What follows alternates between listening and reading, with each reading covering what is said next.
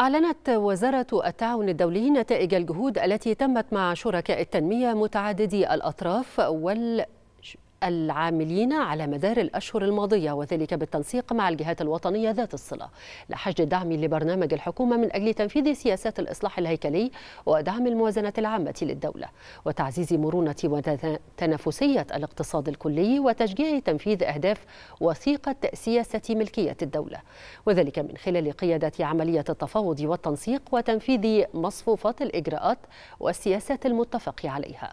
وفي إطار منهج متكامل يجمع مختلف شركاء التنمية من أجل تعظيم الاستفادة من البرامج المنفذة لدعم تنافسية الاقتصاد المصري وتحسين بيئة الأعمال حيث كشفت الوزارة أن تلك الجهود أسفرت عن حشد تمويلات ميسرة بقيمة ملياري دولار بالتقريب.